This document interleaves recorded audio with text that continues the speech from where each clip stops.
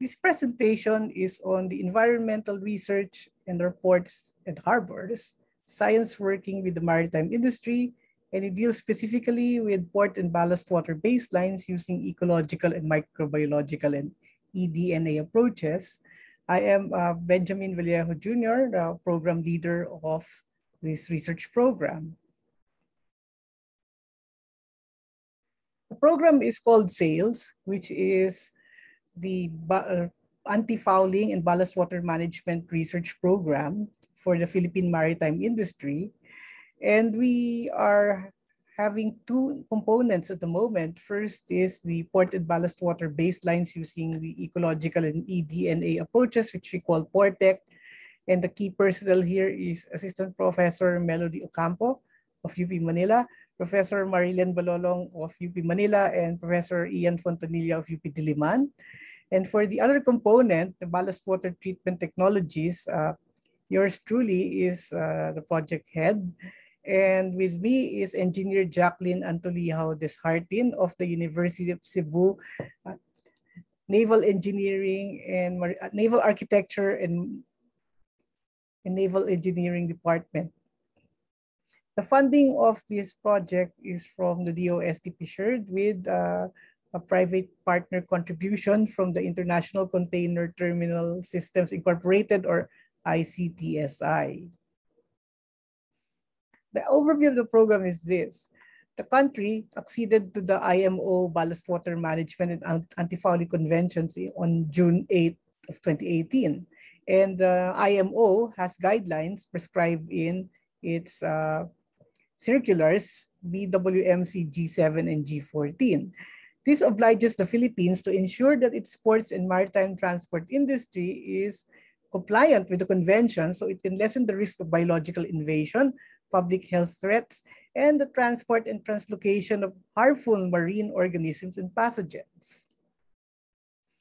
So before we go in further, why do we need to know about port ecology? Well, aside from the IMO environmental conventions, which the country has acceded to, we have acceded to around 28 of the IMO conventions. But for our interest here, we're going to focus on the 2001 uh, Anti-Fouling Convention and the 2004 International Convention on the Control and Management of ship, Ships, Ballast Water, and Sediments. These are the two, the two major environmental problems that may affect biodiversity around the world because uh, ships can translocate invasive species to other ports and other marine environments, thus causing possible irreplaceable ecological and environmental impacts. So the Ballast Water Management Convention is now in force with 30 countries uh, acceding to it. And the convention entered into global force on 8 September of 2017. And we acceded to the convention on 8 June 2018. Now, the convention, in a nutshell, requires that all of our ships should be compliant to the so-called D2 standard, which means there are levels of microbes and pathogens that could be allowed to be discharged into port waters after treatment.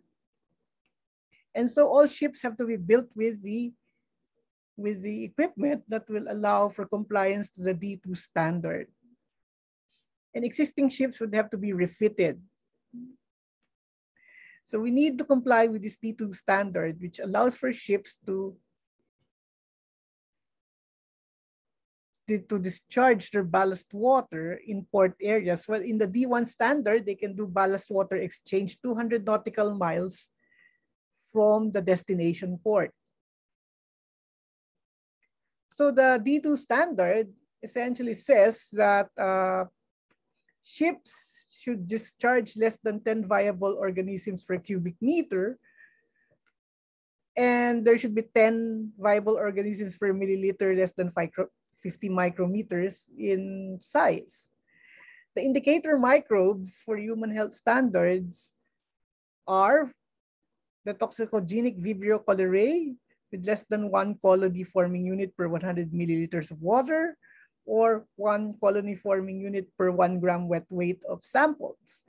The E. coli should be less than 250 colony forming units per 100 milliliters, and intestinal enterococci should be less than 100 colony forming units per 100 milliliters. So that's the, uh, the ballast water guidelines of the D2 standard. So let's look at the port ecological baselines. Now we need to have a baseline so we can we can assess the impacts of port development, the impact of oil and chemical spills, the impact of routine maintenance of ships in the port, like dredging and, and dry docking, that effectivity of ballast water and anti-fouling management, and to identify areas in the port in which we can safely discharge ballast water and other, other discharges that are actually part of the shipping operations. So this is just an example of port expansion in Kenya, in Australia, the spoil grounds where the ballast water could be released. And of course, since uh, waterfronts are very important urban environments, therefore there's a need to integrate the port environmental quality with the overall urban environmental quality. So in San Francisco, that is now being one of applied and one of the major environmental strategies of that city. And we can find a lot of that information in worldharborproject.org. Now, what about SAILS? Okay, SAILS focuses on marine ecology, especially in port ecological baselines and eDNA detection and genomic databasing of invasive aquatic species and also indigenous fouling species. For marine public health, we look at the eDNA of pathogenic microbes with possible extension to looking at marine coronaviruses as because of the COVID-19 pandemic, uh, there is a really big possibility that ships may translocate SARS-CoV-2 in different aquatic environments. And of course, there's the maritime industry applications like the ballast water treatment technologies and for antifouling.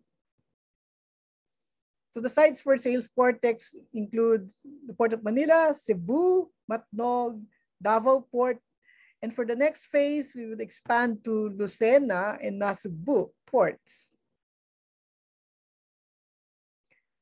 So just to look at what we have done, in we have done about three retrievals of all the sampling equipment to determine port ecological baselines. So we've done it also for Manila Bay, and this is how the equipment would look like, the so-called fouling collectors. Uh, from here, we can estimate what kind of foulers are there and uh, identify them and list them down. So most of the species that we get are indigenous, but there are really invasive species. And we identify this. We also collect water for microbi microbiological assays and for the eDNA aspect. So here is we extract the DNA from the water samples and do the electrophoresis. We do that the same thing also for other, other areas like the Cunanan Wharf in the Port of Manila. Also for Matnog, for the port ecological baselines, we each and every pet petri dish would have to be examined and counted for potential invasive species. And there are just very many of them because our sample size is quite large. Also in Matnog, we do the water sample collection for metagenomics and eDNA analysis. We also do the same thing for Cebu. Now, Cebu has a rather unusual port ecology that's dominated by sponges, which it would indicate uh, that the port has fast-flowing currents, which sponges are really uh, very suited for. Also, we do the water collection for eDNA also in Cebu. We do the same thing for Davao.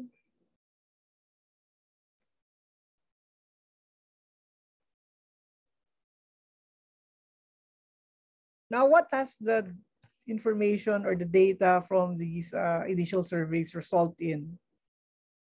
For the ecological approach, uh, we already identified some non-indigenous species like Hydroides. Okay. Uh, Mytella has been uh, identified as an invasive species before uh, this project started, but we want to find out the magnitude of the biological invasion of Mytella. Mytella is a mussel that was brought in likely by ballast water from ships that came from the Atlantic Ocean. So we have discovered a few of these and we need to find out more and because there's likely that there will be there will be more of these invasive species. So just to show you how they look like under the microscope, Hydroides elegans is invasive, but it is now pantropical. It's found in all tropical countries and the likely origin of this is probably in Northern Asia.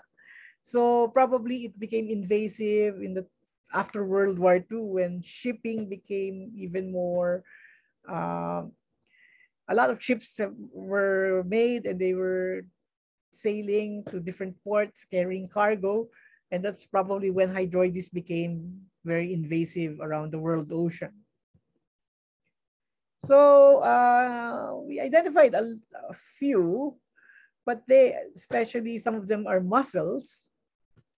But we need more studies to look at the more, the small, the smaller marine invertebrates that may be invasive also. Okay, so we have identified some species. Some of them are indigenous like Anadara. Uh, Brachidontes is an alien species and might be invasive in Manila Bay. And of course, the indigenous Perna viridis. We also identified different kinds of worms in Matnog, it was quite unusual to find corals on the plate. So it's possible that corals may be translocated by ships. The newly recruited corals may be translocated by, by ships so, through, because they could stick into the hull. Hydroides elegans was also recorded in this port. Okay, so we have uh, identified a few. Some of them were sponges and, and, and, and bryozoans. And of course, the mollusks and crustaceans. So uh, we have seen a lot of these, okay? and some of them are still unidentified. Perhaps some may be new, new alien species to our country.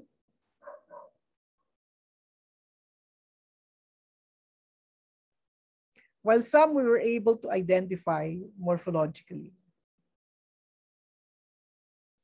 Like the seahorse, which was, uh, was found in one of the plates in Cebu Harbor.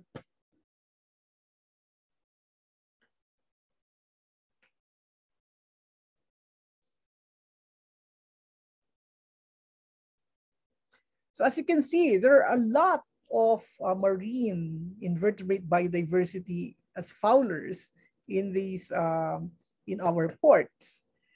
So there's a possibility that they can be translocated from one port to the other.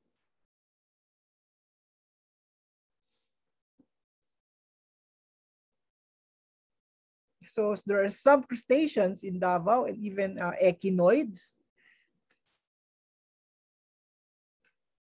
And Arcuatula senhusia, we first found it in Davao and the nearest uh, distrib natural distribution of this species is actually in the temperate coasts of China. So probably it was introduced here to a ship that probably docked at a port somewhere in China or in Hong Kong. So here are some worms and more worms. More worms again. so for the microbiology, okay, uh, we're, we are still in the process of quantitating the DNA. And while some sequences have been, uh, have been collected, uh, we still need to identify the sequence. We are at that stage at, at the moment. However, the first uh, results would suggest uh, these pathogenic bacteria, uh, some of them are possibly sourced from hospital waste or discharges. And a lot of these species, according to Pro Professor Balolong, may be or probably are antibiotic resistant. So if that's the case, then probably they were from hospital waste or discharges.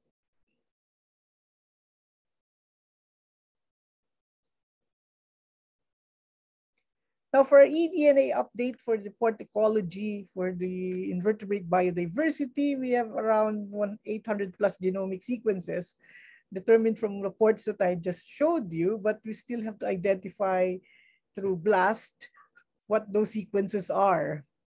So that will be in the next step, uh, probably in the first quarter of next year. And so we still have these unidentified samples uh, fixed in our in the lab no, to find out exactly what these are. We couldn't identify them morphologically, so we need to, to species barcode them. So all of this information should feed into policy and directions. Now, the recommended policy goals for the Philippines to comply with the IMO standards for uh, biofouling and also for ballast water management is that we should come up with an integrated and comprehensive biofouling strategy. And we have suggested that this would be based on biosecurity approaches, which is now being implemented in our country, especially in the agricultural sector. The biofouling strategy minimizes the possible introduction of the invasive alien species with consideration for the expected high biofouling species diversity in port ecological communities in the country. Now, this differentiates us from other ports. Since the country is at the center of marine biodiversity globally, and so we will expect that the biodiversity of foulers here are just as diverse as any other taxa that we have identified for the center of the center of marine biodiversity. So we know that corals are highly diverse here, the fish are highly diverse here. And so it's not surprising that the biofoulers are also very diverse here. Now, this would give us certain challenges in port ecological management because if ships would have to know what they could transport from the Philippines to, let's say, going back to Tokyo Harbor, so we should have a very comprehensive database of all of these uh, possible species. So when they get to Japan, if the ship gets to Japan and gets uh, uh, assessed for compliance, so easily information can be shared between the Philippines and Japan and identify the possible invasive species that could uh, negatively impact the environment in Japan. Now, the biosecurity approach is consistent with the IMO goals for harmonized international policy. Perhaps if we adopt bio biosecurity approach and most ports around the world would do that, then that would be a harmonized international policy. But of course, we have to establish the legal and policy and institutional arrangements to fulfill all of these. But we need to have a clear definition on what invasive alien species is to the maritime industry. Because, for example, the agriculture has, uh, has its own definition, and that definition may not be completely fit for the maritime industry. So we have to contextualize it. In fisheries, there is also a definition, and also for protected areas management. But in these sectors, the risk should be possibly identified, especially their potential economic impact. For the maritime industry, the risk will be to shipping, port infrastructure, and port environment, and of course fisheries, because most of the aquaculture are located near ports and harbors. So the context would be an expanded scope of biosecurity that in includes integrally the or integrates the maritime transport industry aside from agriculture, fisheries, and public health. Now, uh, this whole SAILS program came out of a small project that was funded by NSRI uh, about uh, seven years ago when we assessed the safe risk area for domestic shipping. We were able to say that uh, there is a huge degree of risk between Manila and Cebu. That's the two ports that we studied because of the different ecologies and environmental conditions of, uh, of those two ports. But even then, we still have to come up with uh, with metrics to say that to quantify the risk of a ship carrying possible invasives from, from Manila to Cebu, for example, and vice versa. Our results for the NSRI project before were pointed out the way for a more um, intensive approach to looking at port ecology. So with that, we need to build capacity for research and implementation. The Philippine Coast Guard Maritime Environmental Protection Command is in charge of um, implementing the standards. The Maritime Industry Authority or MARINA is to look at the compliance aspect also. Philippine Ports Authority are where the places where these compliance assessments will be done and also in Cebu Port Authority, including the Subic Bay Port uh, authorities. And of course, the maritime and port servicing industries would have to be part of this building of capacity because uh, shipping is primarily a, a private enterprise and a lot of the functions are taken in by private, uh, or the corporate sector for maritime and port servicing. So they would be the ones to ensure that the standards are met. So when the ship gets into harbor and the state authorities assess them, then they would pass with flying colors, as we say. So thank you and good day. And if there are any questions, I'll be very willing to take uh, take some of your questions. Thank you and good day.